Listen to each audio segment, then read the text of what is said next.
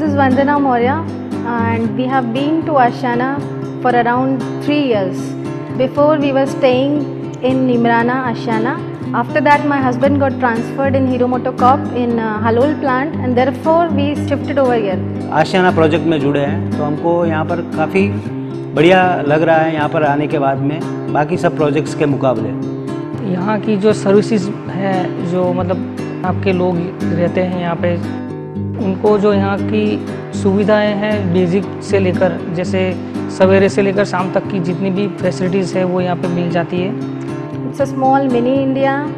The other facilities, as for example, the clubhouse, gym, swimming pool for kids, and we also enjoy in swimming pool sometimes. कुछ भी जैसे function enjoy करने के लिए हम लोगों को बड़ौदा और अदर कहीं जाना पड़ता था पर आशियाना में आने के बाद सब चीज़ें यहीं पे अच्छे से एंजॉय कर रहे हैं हर एक फेस्टिवल कुछ भी जैसे किटी पार्टी लेडीज़ में भी हम लोगों के काफ़ी कुछ प्रोग्राम्स होते रहते हैं। तो हमको ऐसे अजीब सा नहीं लगता है और सब फ़ंक्शंस को हम अच्छे से एंजॉय करते हैं। यहाँ पे सेफ्टी बच्चों की बहुत अच्छी है। सिक्योरिटी यहाँ पे हर तरफ़ रहती है। सीसीटीवी से लोग मॉनिटर करते हैं। और यहाँ पे जो बेसिक फैसिलिटीज़ हैं वो काफ़ी अच्छी हैं। यहाँ पर हम अच्छे से हर एक फेस्टिवल इवेंट्स भी हम यहाँ पर अच्छे से एंजॉय करते हैं। जैसे कि अभी हमने लेटेस्ट में गणेश पूजा और दुर्गा पूजा, सब फैमिलीज़ के साथ में अच्छे से हमने सेलिब्रेट भी किया है। और इसमें मेंटेनेंस टीम का काफ़ी बढ़िया रोल भी रहा है। और यहाँ पर हम एक दूसरे के सपोर्ट से यहाँ पर बहुत अच्छे से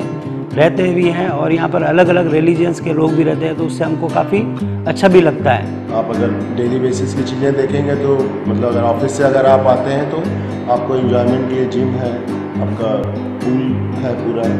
किड्स रूम है तो सारे बच्चे और हम सब लोग काफ़ी इंजॉय करते हैं। आशना मतलब एक वर्ड के लिए, एक सेंटेंस या एक ऐसा नहीं है कि मैं दो तीन मिनट में ये ख़त्म कर लूँगा। ये बहुत ही अच्छा प्रोजेक्ट है यहाँ का और मैं यहाँ पे अपना फ्लैट लेके बहुत ही खुश हूँ।